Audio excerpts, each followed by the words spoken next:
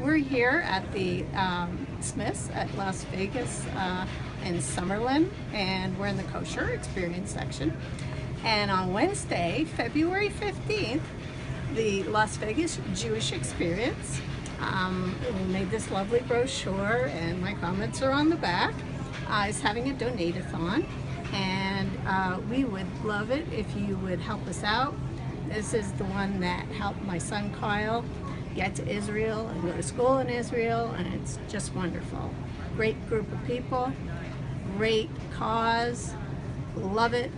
Now, all you gotta do is on Wednesday, February 15th, you need to go to charidy.com dot com slash LVJE. slash LVJE. Did you hear that? Charidy.com slash LVJE. And if that doesn't work, put an HTTPS in front of it. Anyway, I hope all of you will join us. We're really excited. Yay!